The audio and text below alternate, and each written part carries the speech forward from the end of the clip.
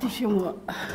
Fatima n'est pas une locataire comme les autres, c'est une capseuse. Elle habite depuis peu dans ce T3 de la résidence Jacques Brel à La Villeneuve. Ici, la cuisine, où on concocte un peu nos petits, nos petits plats. Ensuite, ici, le petit salon. Avec le programme CAPS Colloque à projet solidaire, elle a pu se loger pour un loyer charge comprise entre 230 et 300 euros par mois. En contrepartie, Fatima, étudiante infirmière, donne de son temps au service des habitants du quartier.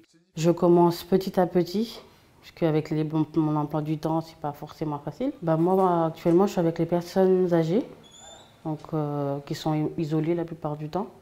Après, il y a l'aide de devoirs. Euh. Depuis 2019, CDC Habitat et La Fève œuvrent avec ce programme pour faciliter l'accès des jeunes aux logements sociaux. Ce partenariat déjà expérimenté à Bordeaux en avril 2021 arrive à Grenoble.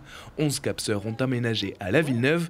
CDC Habitat a alors mis 8 logements meublés du T3 au T5 en location. 6 sont déjà occupés. Du côté du bailleur, c'est la mise à disposition euh, de plusieurs logements euh, à la FEV pour le projet CAPS. Donc la demande de la FEV, c'était d'avoir au minimum une vingtaine de places. Donc c'est quand même arriver à mobiliser suffisamment de logements pour accueillir 20, euh, 20 personnes. et puis ensuite, c'est de proposer des logements meublés en colocation.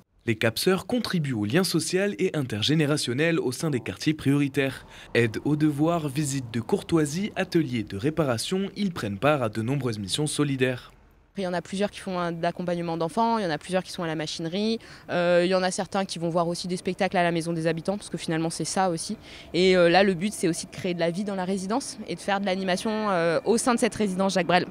Donc taper aux portes et voir ce qu'ils veulent faire. Voilà. Des projets similaires se sont lancés partout en France. CDC Habitat et La Fève espèrent pérenniser le projet à La Villeneuve. Dans la résidence Jacques Brel, deux appartements restent à pourvoir.